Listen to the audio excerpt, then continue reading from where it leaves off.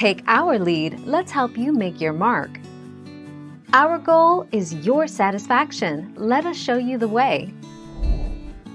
Reduced power. What should I do? If you have this warning, it means there is a serious problem with your engine. As the engine is not operating perfectly, you should not put it under a hard load. 29 January 2019.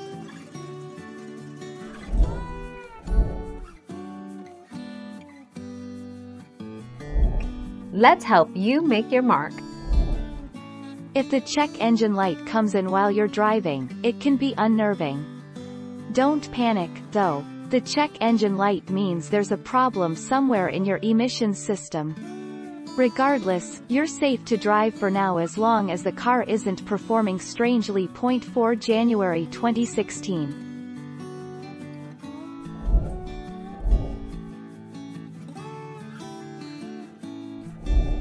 Make your mark, take our lead.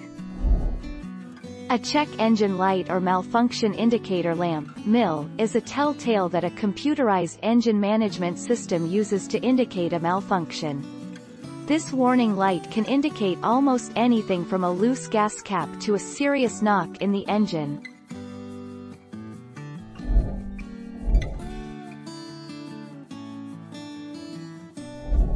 Let's help you make your mark. Often, the problems are minor.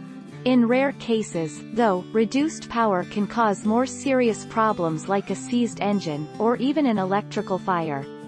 The safest measure would be to have your reduced power light inspected by a certified mechanic to ensure your car is safe and ready to drive. 30 December 2015.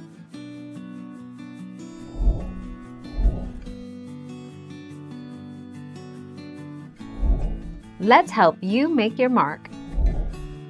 Drive moderately until the dealer has inspected the problem. You should also have the dealer inspect your car if this indicator comes on repeatedly, even though it may turn off as you continue driving. If you keep driving with the malfunction indicator lamp on, you can damage your car's emissions controls and engine.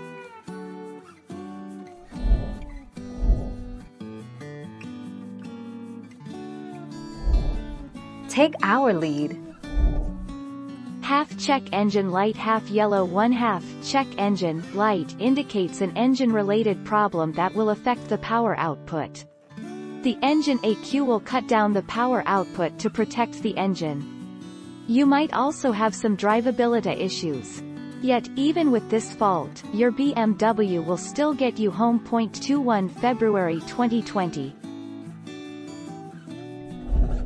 Thank you for watching. Please subscribe and hit the bell notification.